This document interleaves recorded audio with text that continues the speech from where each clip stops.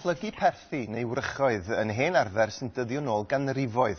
ond yn y byd modern efo cyn lleied o amser ar 'yn dwylo wel mae hi'n grefft sydd bron a mynd yn angof. Oherwydd hyn mae'n perthi ni a'r bywyd gwyllt sy'n dibynnu arnyn nhw yn dechrau diodda. Felly sut mae'n mynd ati i adfer y sefyllfa?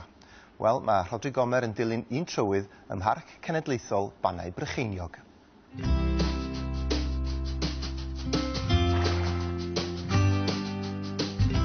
Fel un gath i fagu ar fferm, mae tipyn o ddiddordeb gyda fi yn yr hen ddulliau o ffermio, yr hen sgiliau yna sydd wedi cael ei anghofio neu hesgyluso yn ddiweddar. Felly pan glywes i fod elusen Cadwch Gymru'n daclus, mewn cydweithrediad â Pharc Cenedlaethol Banau Brycheiniog, mynd i fod yn cynnal gwersi plygu perthi, ond i'n nwyddus iawn i roi cynnig arni.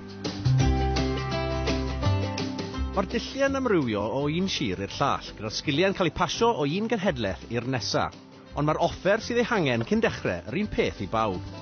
Ffôn braich di'r prif beth, hwnnw fydd yn gweithio gleta, gen ti'n sicr.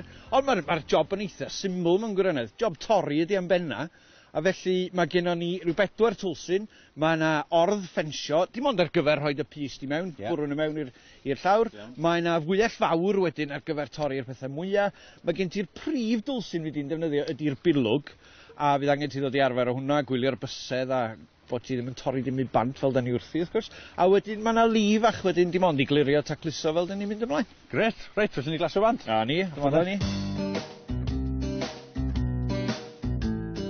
Mae'r prosiect wedi cael ei enwi'n y goedwig hir achos bod ni'n dechrau rheoli'r goedwig sydd o gwmpas ni a 'dyn ni'n rhoi gwybodaeth i ffermwyr cymunedau threfyddianwyr am gwrchoedd a sut i plygu perthi mae perthi yn bwysig wrth gwrs i'r amgylchedd lleol ond maen nhw'n ma' neud lot mwy na hynny Maen nhw'n bwysig i ffermwyr i pobl sy'n gweithio ar y tir achos maen nhw e- yn hybu creaduriaid a'r amgylchedd, ond hefyd maen nhw'n gallu creu ffiniau a maen nhw'n ffordd rili dda i rheoli tir ac i rheoli coed.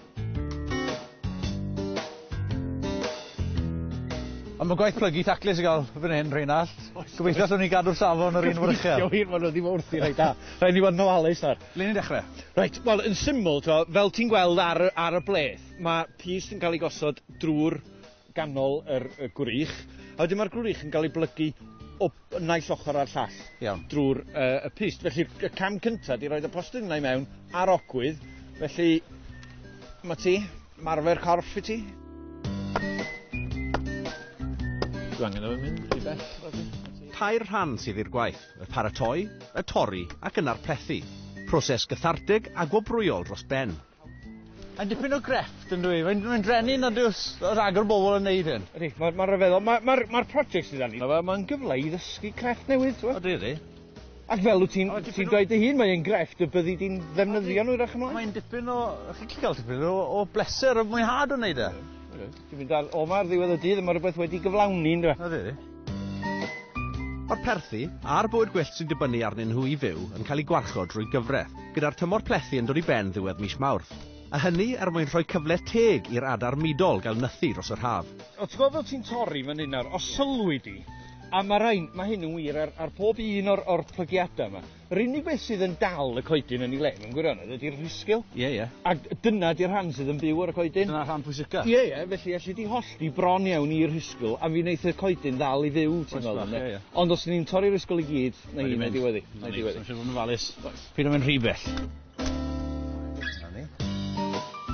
credu bod y sgil wedi cael ei esgyluso bach wrth gwrs dyw pobl ddim gyda'r amser heddi i dod allan fel 'dyn ni i gweithio ar y gwyrchoedd yma ond dyma pam mae'r project yma mor bwysig achos 'dyn ni'n gallu rhoi'r gwybodaeth i pobl sut maen nhw'n gallu dod at ei gilydd i helpu'w gilydd ond hefyd i helpu plygu perthi 'da'i gilydd. O'n ni wedi creu pecyn gwybodaeth i bawb yng Nghymru cymunedau neu jyst ffermwyr Mae gyd ar wefan ni yy www.cadwchgymryd@list.org ond hefyd mae coed cadw gyda lot o o wybodaeth ar wefan nhw ac wrth gwrs Llywodraeth Cymru trwy'r Cronfa Natur.